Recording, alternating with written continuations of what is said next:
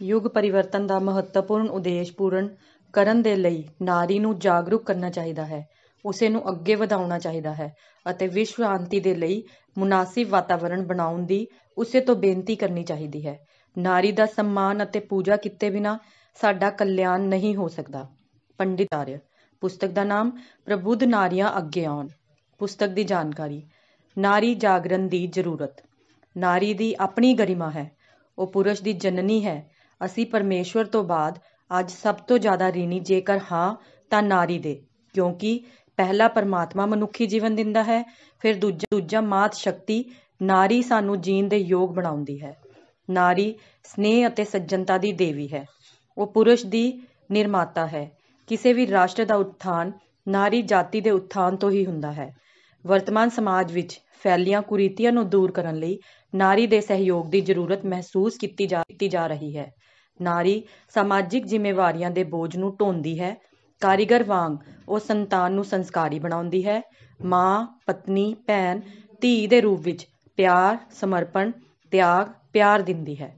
ਤੁਹਾਡੇ ਸਾਹਮਣੇ ਪੇਸ਼ ਹੈ ਪੁਸਤਕ, ਜੋ ਕਹਿੰਦੀ ਹੈ ਕਿ 21ਵੀਂ ਸਦੀ ਨਾਰੀ ਸਦੀ ਹੈ ਸਦੀ ਹੈ। ਇਸ ਸਮੇਂ ਪੁਨਰ ਜਾਗਰਣ ਦੀ ਦਿਸ਼ਾ ਵਿੱਚ ਨਾਰੀ ਨੂੰ ਬੜੀ ਮਹੱਤਵਪੂਰਨ ਭੂਮਿਕਾ ਨਿਭਾਉਣੀ ਹੈ। ਇਹ ਗੱਲ ਨੂੰ ਮੰਨਣਾ ਹੀ ਪਵੇਗਾ। ਹੁਣ ਨਾਰੀ ਦੀ ਦੈਵੀ ਸਮਰਥਾਵਾਂ ਨੂੰ ਕਸੋਟੀ ਤੇ ਪਰਖੇ ਜਾਣ ਦਾ ਸਮਾਂ ਆ ਗਿਆ ਹੈ। ਇਸ ਕਸੋਟੀ ਤੇ ਨਾਰੀ ਖਰੀ ਉਤਰੇਗੀ। ਭਾਵੇਂ ਉਸ ਨੂੰ ਇਸ ਦੋਹਰੀ ਮਿਹਨਤ ਕਿਉਂ ਨਾ ਕਰਨੀ ਪਵੇ? ਪੁਸਤਕ ਦੇ ਕੁਝ ਮਹੱਤਵਪੂਰਨ ਬਿੰਦੂ। ਨਾਰੀ ਉન્નਤੀ ਦੀ ਜਾਂ ਗਿਰਾਵਟ ਤੇ ਹੀ ਰਾਸ਼ਟਰ ਦੀ ਉન્નਤੀ ਗਿਰਾਵਟ ਤੈ ਹੈ। ਨਾਰੀ ਦੇਵਤਾ ਦੀ ਪ੍ਰਤੱਖ ਦਿਖਾਈ ਦੇਣ ਵਾਲੀ ਮੂਰਤ ਹੈ। ਨਾਰੀ ਦੀ ਆਪਣੀ ਵਿਸ਼ੇਸ਼ਤਾ ਹੈ। ਵਿਸ਼ਵ ਪਰਿਵਰਤਨ ਦਾ ਆਧਾਰ ਨਾਰੀ ਹੈ। ਜੋ ਕੰਮ ਪੁਰਸ਼ ਨਹੀਂ ਕਰਦਾ ਹੈ, ਨਾਰੀ ਉਸ ਨੂੰ ਸਹਿਜ, ਪਿਆਰ ਅਤੇ ਨਿਮਰਤਾ ਪੂਰਨ ਪੂਰਾ ਕਰ ਲੈਂਦੀ ਹੈ। ਅੱਜ ਆਪਣੇ ਦੇਸ਼ ਵਿੱਚ ਅਣਗਿਣਤ ਸਮੱਸਿਆਵਾਂ ਪੈਰ ਪੈਰ ਤੇ ਛਾਈਆਂ ਹਨ। ਉਹਨਾਂ ਨੂੰ ਸੁਲਝਾਉਣ ਲਈ ਦੇਸ਼ ਦੀ ਨਾਰੀਆਂ ਮਹੱਤਵਪੂਰਨ ਯੋਗਦਾਨ ਪਾ ਸਕਦੀਆਂ ਹਨ। ਗਾਂਧੀ ਜੀ ਨੇ ਕਿਹਾ ਹੈ, ਨਾਰੀ ਅਤੇ ਨਰ ਵਿੱਚ ਚਰਿੱਤਰ ਦੀ ਦ੍ਰਿਸ਼ਟੀ ਨਾਰੀ ਦਾ ਸਥਾਨ ਉੱਚ ਹੈ, ਕਿਉਂਕਿ ਅੱਜ ਵੀ ਉਹ ਤਿਆਗ, ਤਪੱਸਿਆ, ਨਿਮਰਤਾ, ਸ਼ਰਧਾ ਅਤੇ ਗਿਆਨ ਦੀ ਮੂਰਤ ਹੈ। ਨਾਰੀ ਦੀ ਬਜਾਏ ਉਸ ਦਾ ਗਿਆਨ ਬਹੁਤ ਉੱਚ ਹੈ, ਪਰ ਉਸ ਦੀ ਕੁਦਰਤੀ ਸੂਝ-ਬੂਝ ਪੁਰਸ਼ ਦੇ ਗਿਆਨ ਨਾਲੋਂ ਜ਼ਿਆਦਾ ਸਿੱਧ ਹੋਈ ਹੈ। ਰਾਮ ਤੋਂ ਪਹਿਲਾਂ ਸੀਤਾ ਅਤੇ ਕ੍ਰਿਸ਼ਨ ਤੋਂ ਪਹਿਲਾਂ ਰਾਧਾ ਨਾਮ ਦਾ ਨਾਮ ਦਾ ਜ਼ਿਕਰ ਔਰਤ ਦੀ ਤਾਕਤ ਨੂੰ ਦਰਸਾਉਂਦਾ ਹੈ। ਪੁਸਤਕ ਦੇ ਕੁਝ ਅੰਸ਼ ਨਾਰੀ ਨੂੰ ਲੰਬੇ ਸਮੇਂ ਤੱਕ ਬੰਧਨਾਂ ਵਿੱਚ ਜਕੜੇ ਰਹਿਣ ਕਾਰਨ ਪੈਦਾ ਹੋਏ ਆਪਣੇ ਪਿਛੜੇਪਨ ਤੋਂ ਮੁਕਤੀ ਪਾ ਕੇ ਆਪਣੀ ਯੋਗਤਾ ਅਤੇ ਸਮਰੱਥਾ ਨੂੰ ਵਿਕਸਿਤ ਕਰਨਾ ਹੋਵੇਗਾ। ਅਤੇ ਨਵੇਂ ਨਿਰਮਾਣ ਦੀ ਭੂਮਿਕਾ ਨਿਭਾਉਣ ਵਿੱਚ ਵੀ ਅੱਗੇ ਵਧਣਾ ਹੋਵੇਗਾ, ਅੱਗੇ ਵਧਣਾ ਹੋਵੇਗਾ।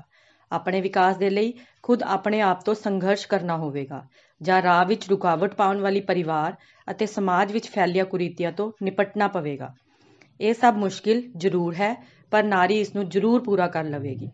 ਮਹਾਕਾਲ ਨੇ ਨਾਰੀ ਨੂੰ ਜੋ ਕੰਮ ਸੌਂਪਿਆ ਹੈ ਉਸ ਨੂੰ ਆਪਣੀ ਜਨਮਜਾਤ ਦੇਵੀ ਦੇਵੀ ਸ਼ਕਤੀਆਂ ਦੇ ਸਹਾਰੇ ਨਿਸ਼ਚਿਤ ਰੂਪ ਤੋਂ ਪੂਰਾ ਕਰ ਸਕਦੀ ਹੈ।